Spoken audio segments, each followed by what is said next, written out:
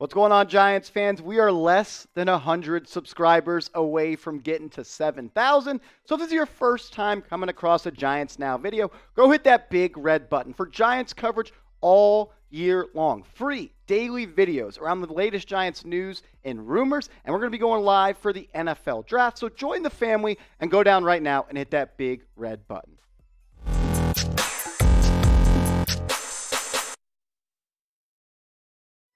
You are watching New York Giants Now by Chat Sports. I'm your host, Marshall Green. And today's show, we're going to touch on Kenny Golladay. I thought Brian Daboll had some pretty interesting things to say about Kenny Golladay and potentially having a breakout year in 2022. And the rumor, kind of news-ish rumor, that the Giants, they had dinner with Jalen Pitre, the safety DB nickel from Baylor, before the Baylor Bears Pro Day today. So we're going to talk about it. Should the Giants draft a safety in round two at pick 36. Jabril Peppers, he signed a one year, $2 million deal with the New England Patriots. The Giants, they cut Logan Ryan. So the only two safeties on the roster right now are Xavier McKinney, who I like a lot, who I think will be a long time starter at the free safety spot, and Julian Love, who's really not a strong safety. He's more of a nickel that can kind of play safety. So they have a pressing need at the safety spot. spot excuse me. But Mike Kaye, he put this out last night on Twitter and said, I'm told Baylor Bear DB Jalen Pitre had dinner with the Giants last night before Baylor's Pro Day today.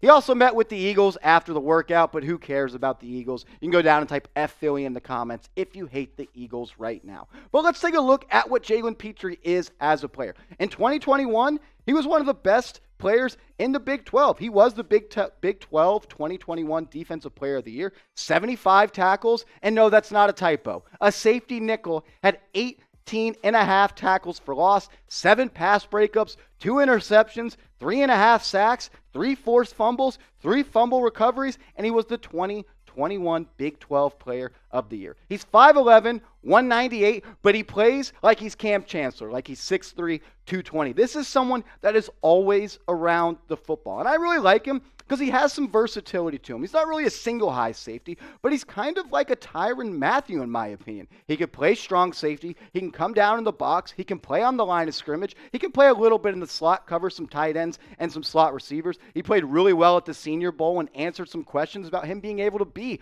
a coverage safety, and he played really well in that role. And he was great against the run. He had the most run stops in college football last year, and mo- most of them coming behind the line of scrimmage. Him in a Don Wink Martindale system would be so fun. He would be that money backer type of player for Martindale, where he could play in the slot. He can play in the strong safety spot. He can play in the box, and he can come off the edge on blitzes. This is a fearless and relentless tackler. Just because he's 5'11, 198, don't take that you know, as a slight. This is someone that plays much bigger than, than he is, and he's an aggressive tackler, consistently flicking that right stick up using the hit stick. But let me know should the Giants draft Jalen Pitre with pick 36? I think it really matters what you do in round one. If you get a corner and you get a linebacker, a uh, lineman, excuse me, sure, I think you can go that route. But if you get Kyle Hamilton, you clearly won't need him. If you come away with Kayvon Thibodeaux and one of the top two tackles, I think you can lean that way. It's an it's a big need, and he's a really solid player that would fit that need.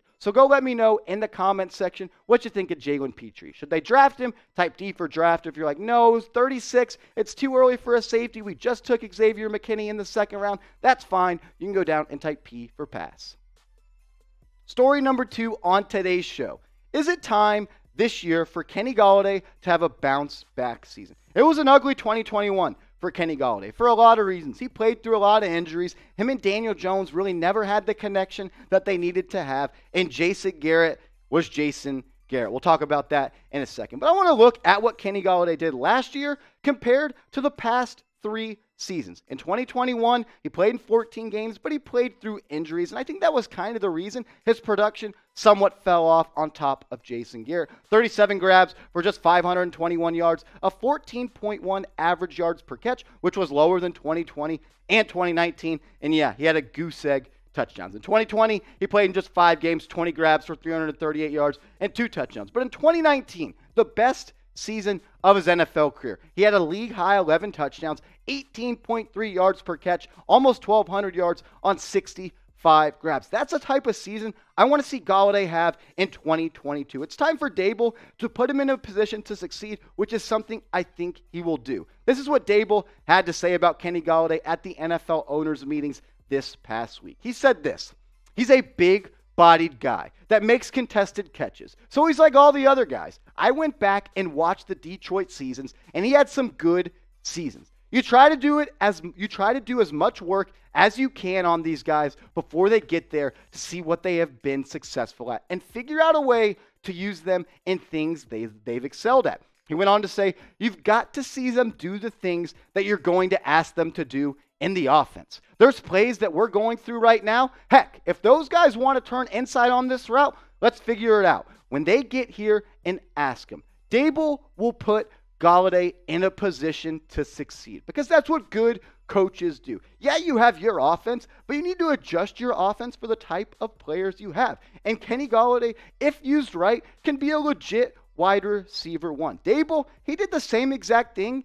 with Stefon Diggs. He went back and watched what made him successful in Minnesota, and he put him in those positions, those same positions that he succeeded at in Buffalo. And that's why Stefon Diggs has been one of the best receivers in the NFL since he became a Buffalo Bill. And I think he will do the same thing with Kenny Golladay this year. Send him on deep routes. He's a deep threat. He's not someone that's just a three step slant guy, a bang eight post guy. He doesn't just run in breaking routes. This is someone that can stretch the field. Back in 2020, he had an 18 yard per catch average. Send him on deep routes. Use him in the red zone. Throw him 50 50 balls. This is someone that's a good player. I mean, 2019, 18.3 yards per catch. The next year, 16.9 yards per catch. 11 touchdowns in 2019.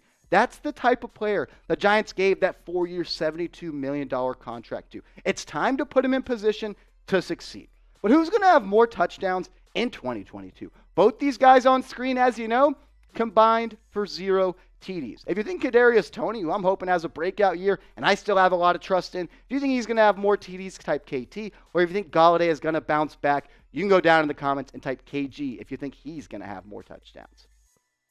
I really do believe it. I think Kenny Golladay is going to have a bounce back year. Can he catch 70 balls? Can he go over 1,000 yards? Can he have six, seven touchdowns? That's what the Giants need. They need him to be a wide receiver one. Draw some attention from safeties. Be a problem when teams are game planning to play against you. Put him in a position to succeed, unlike Jason Garrett did last year. Jason Garrett, quite frankly, is a criminal for the lack of touches Golladay had in the red zone. This is a red zone monster type of receiver. Six foot four, a large catch radius, knows how to go in high point balls better than a lot of people in the NFL. He has really strong hands. Just because he's covered doesn't mean he's not open. This is a type of receiver that even though the DB's in his hip pocket, just throw him up, let him use the large catch radius. He has strong hands and he can catch the body, the ball away from his body. He is a hands catcher, and you need to use him in that type of way. I just want to see a couple times. Throw him a 50-50 ball in the red zone. That's what Matt Stafford did